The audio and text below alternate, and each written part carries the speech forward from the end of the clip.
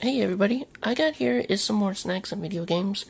Okay, so what I'm going to show you guys is, I got here, uh, it's called Doritos Nacho Cheese. I got uh, Fritos Chili Cheese, uh, Fritos Barbecue, and I got Cheetos. And then I also got Pringles, and then I also have my favorite soda, uh, Coca-Cola, this one right here. And then after I eat all those snacks, I'll be playing some of VR games, along with uh, PS4 right here as you can see. And then uh, over here, I got my Steam games. I'll be playing uh, Steam games too as well. So yeah, I'm pretty uh, excited about uh, playing uh, video games and eating snacks. So that's like uh, how I spend my weekend or slash after or during the week, you know. So anyways, that's all I want to share you guys today about my snacks and video games.